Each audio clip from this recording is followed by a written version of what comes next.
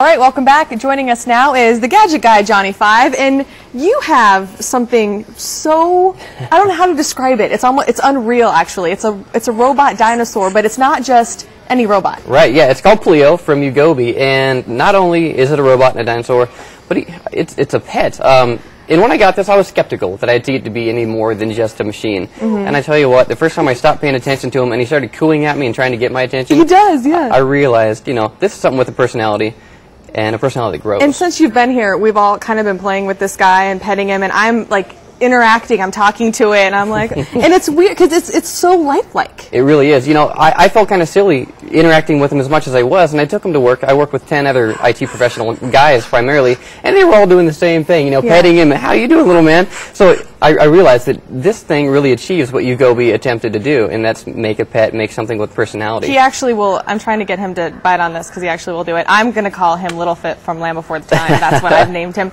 So some, some let's talk about some of the neat features. Sure. Uh, personalities. Uh, on the bottom of this guy, he might get mad at me for lifting him up, but we'll do it anyway. Um, he's actually got a USB port.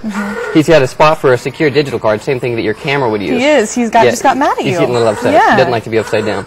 so with those slots, you can actually update uh, personalities like there's a T-Rex profile you can put in, and he actually gets mean, which you can't picture, but he does. And Uh, this is the what profile is this is just right now? standard Pleo right okay, here. This is friendly, Pleo. good old Pleo that the kids would like. And now we were talking about it, it, whether or not this would be because it is a little bit more of an adult Right. feature, but would it be good for a kid? You know, they recommend eight and older, but I Mm-hmm. gotta tell you, my two-year-old absolutely loved him, and she was gentle with him. I think what they're worried about is that kids are gonna grab him and Right. strip some motors or something, because there are 35 motors, excuse me, 14 motors, 35 sensors in this guy, so there's some stuff that's a little bit fragile. And um, we were talking about too that maybe if you if your if your child wants to get a pet, this might be a good way to try it out. Might be a good way to start. Again, it is a little pricey. Yeah, $350. Okay. Um, but you know what? For everything they've packed in here with processors and chips and sensors, I don't see how they could do it any cheaper right now. 350 I think is very reasonable for Pleo. And I don't know if you guys can tell us at home, but he actually res- he responds to you. Like if you're Mm-hmm. petting him,